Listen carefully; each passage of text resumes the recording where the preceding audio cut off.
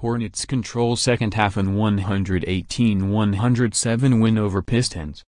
Detroit, App, Kemba Walker scored 17 of his 20 points in the second half, and the Charlotte Hornets pulled away in the fourth quarter of a 118-107 win over the Detroit Pistons on Monday. Dwight Howard had 21 points and 17 rebounds for the Hornets, who trailed 56-50 at halftime before dominating the final two quarters.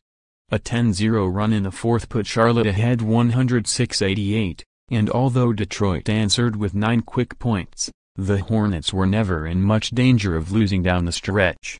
Andre Drummond of the Pistons had only three points and 10 rebounds, and his day was summed up late in the fourth when he went up for a powerful, one-handed dunk, only to have Howard easily swat the ball away.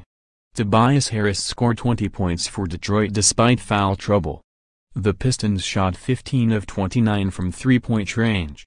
Marvin Williams had 21 points for Charlotte and shot 7 of 8 from the field. Detroit's Reggie Bullock had 20 points. Milestone Walker needed 14 points to reach 9,000 for his career. He easily surpassed that mark and also had 9 assists with only one turnover. At the line the Hornets came in with a plus 324 margin in free throw attempts on the season, the top mark in the NBA. They added to that Monday, going 22 of 33 while Detroit was only 8 of 11. Tobias Ennis Hornets, FC Frank Kaminsky limped off in the fourth quarter after a collision with Harris when the Detroit player drove to the basket. Pistons, Detroit is still without starting PG Reggie Jackson, who is out with a right ankle sprain. F. Stanley Johnson, strained right hip flexor, did not play either. Up next Hornets, host Washington on Wednesday night. Pistons, visit Toronto on Wednesday night.